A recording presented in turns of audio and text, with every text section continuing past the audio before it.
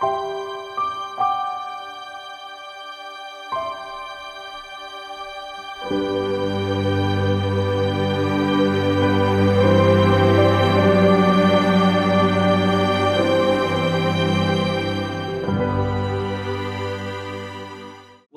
Lineage Generations of Realism. I'm Bill Endersky, curator of Sal Salmagundi here in New York. The exhibition starts with earlier members of our club, as well as non members, that were very influential in teaching artists their craft, and then those artists teaching other students the craft. Lineage talks about the history of artist, teacher, and student, and it really goes over how we as artists learn from our, our master or our teacher and how that tradition just continues on.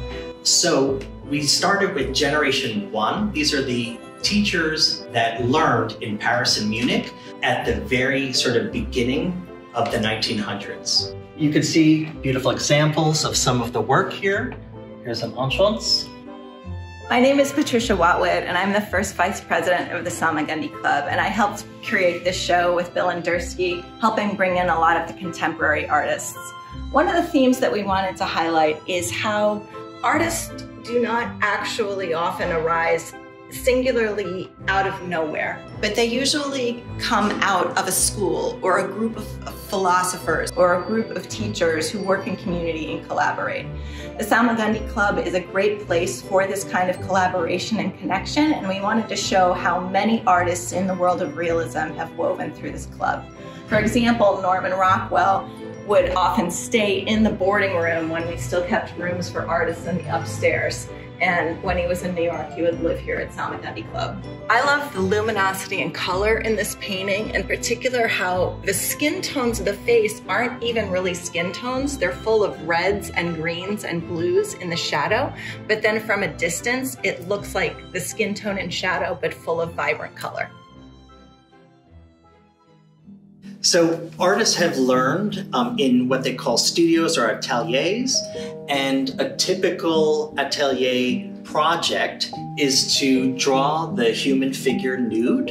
Um, obviously, because it was uh, early in this, uh, they used to wear modesty belts, um, but they would work doing charcoal on a textured paper, and so you can see that here again on Schultz. This is a work by Howard Pyle, an important illustrator from the mid-century who is also a Salmagundi artist. Dramatic figure, standing figure portraiture was an important part of any realist artist tradition. The earliest members of Salmagundi were illustrators because before the wide-scale use of photography um, in magazines and newspapers, they had to rely on artists doing the drawings manually.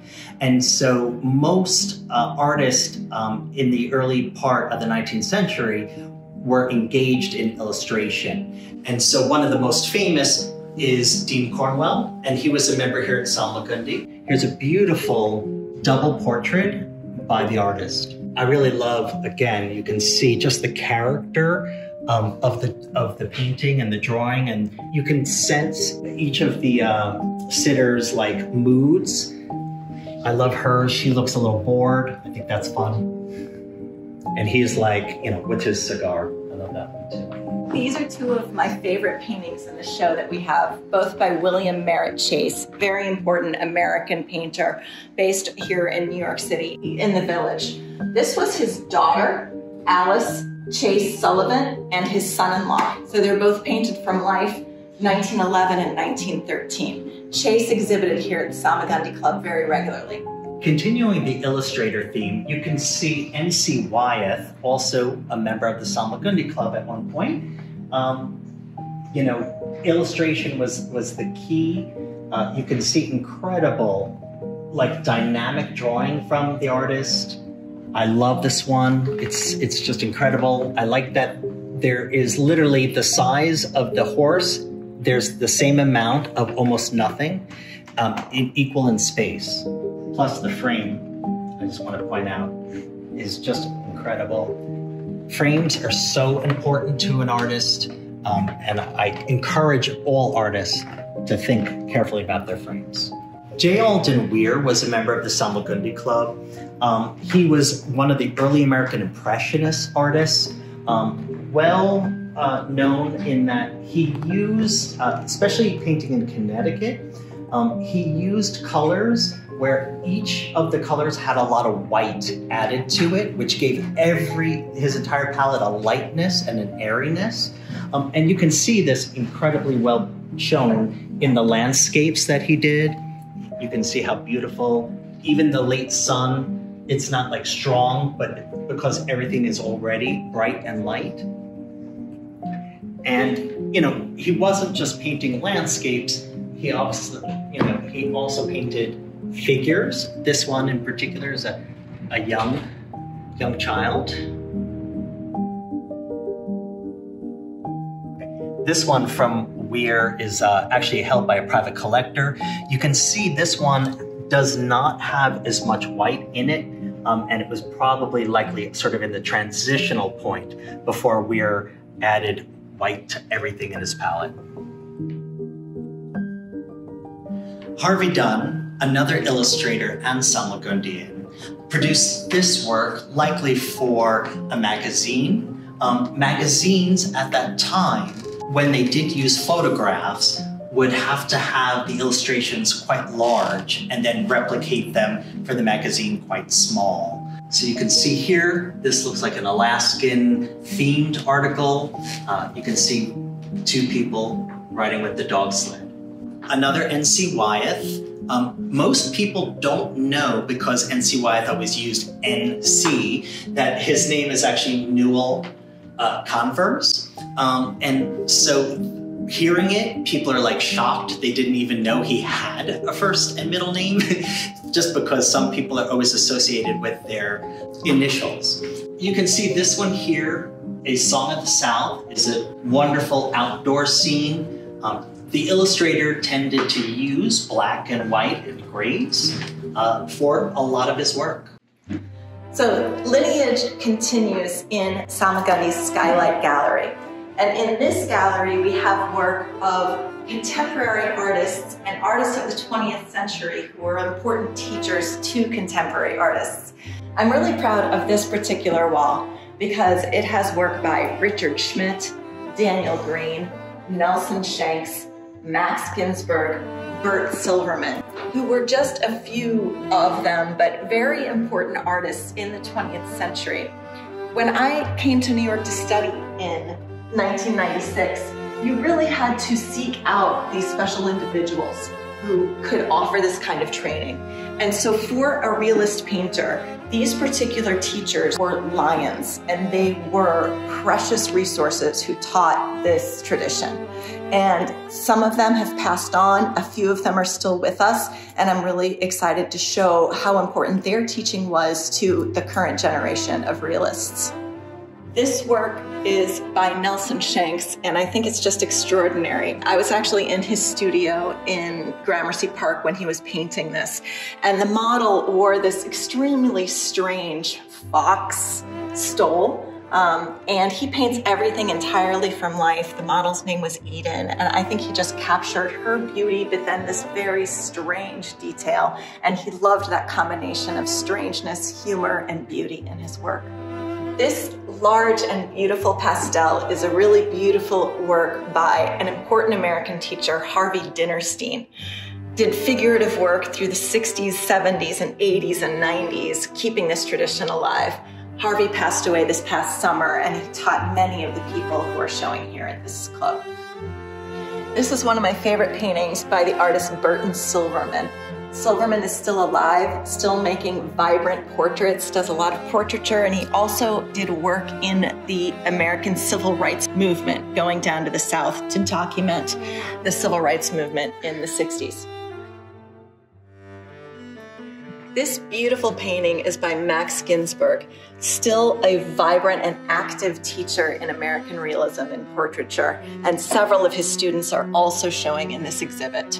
Beautiful painting by Max Ginsburg. This painting is one of my very favorites in the show. It's by an artist very dear to my heart, Martha Mayer Erlbacher, who taught at the New York Academy of Art where I did my master's. She was the only female artist that I got to study with in the 90s and early 2000s. And she really shaped a generation of people thinking about myth, archetype. She was a powerful and dynamic teacher.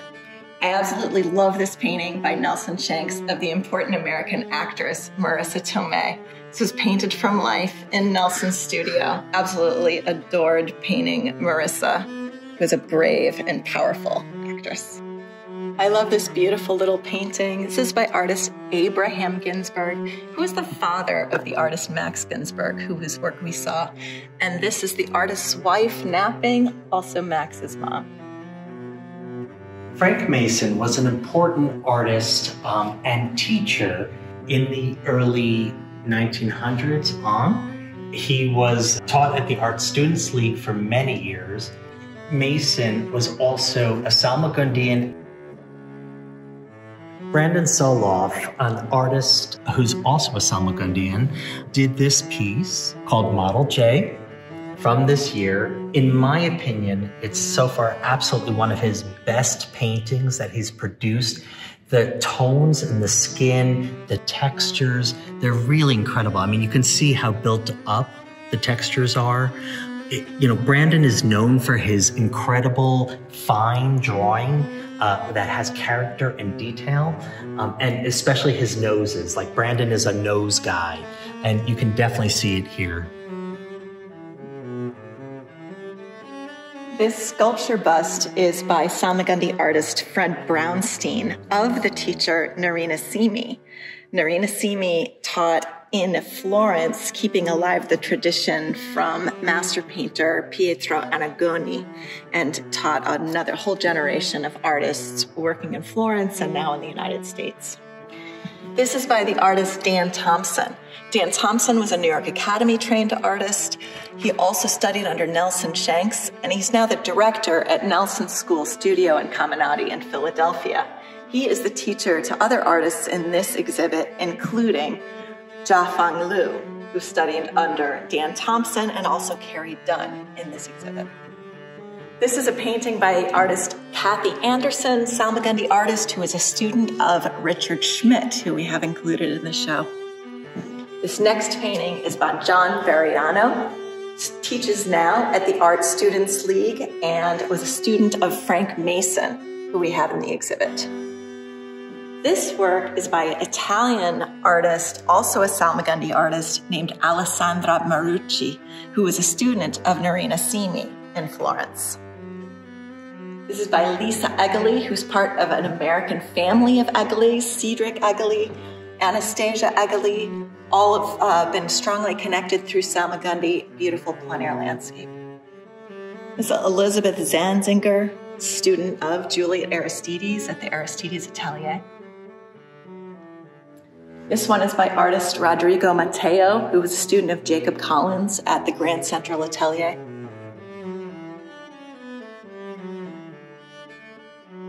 This is by artist Carrie Dunn, who now teaches at Studio Incamminati and was a student of Nelson Shanks. This is by my alumni colleague Lisa Lebowski from New York Academy of Art. She was a student, also a student of Martha Erlbacher, we have in the show, and Wade Schuman and Harvey Citron. This is by Wendy Green Caparelli, who is a portrait artist in beautiful pastel. She was Daniel Greene's wife and student and does contemporary portraiture. This is by American realist artist Bo Bartlett, who is a student of Nelson Shanks and Andrew Wyeth.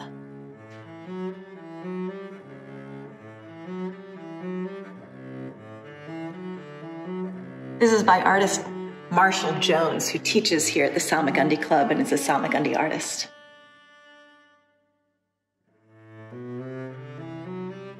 This is one of my favorite paintings in the show by artist Bo Bartlett. It's a study for a large narrative painting. It's called Study for Crowd Scene. Bo often does large scale figurative work, he will use friends and neighbors from his hometown of Columbus, Georgia, and gets them to pose to create these epic and grand stories that feel so much a part of our everyday life. This is by a young artist, Grace Flatt, who's a student of Juliet Aristides, also of Anthony Ryder. She was herself a burn victim and has done a beautiful series of work of people who have been resilient um, survivors of burn victims.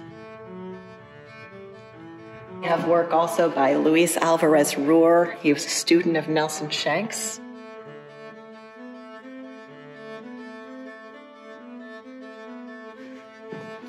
Painting by Noah Buchanan, Salmagundi artist who did the library doors here at the club and was a student of Martha Erlbacher and fellow colleague from the New York Academy of Art. Work by Ian Factor, student of Ray Kinstler.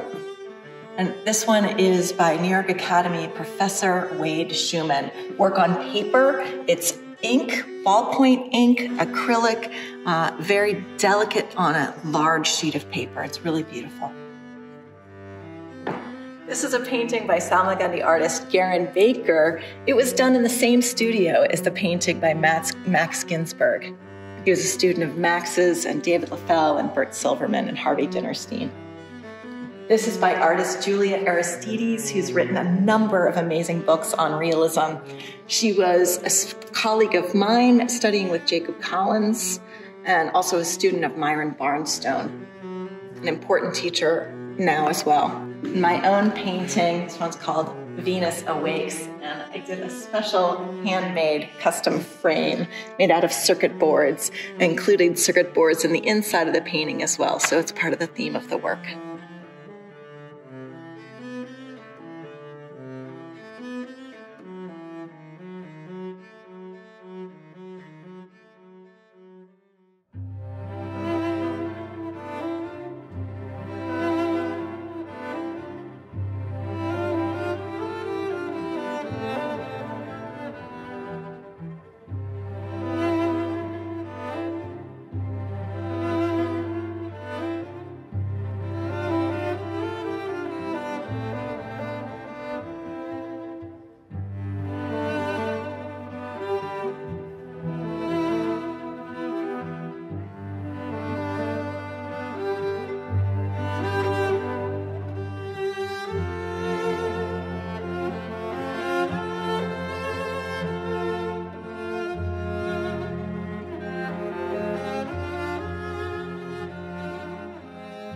We want to give a special shout out to our sponsor for this video, New Wave Art.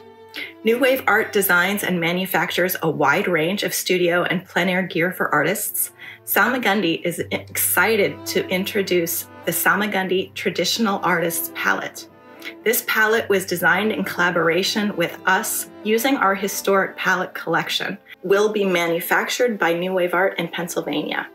You can learn more at newwaveart.com.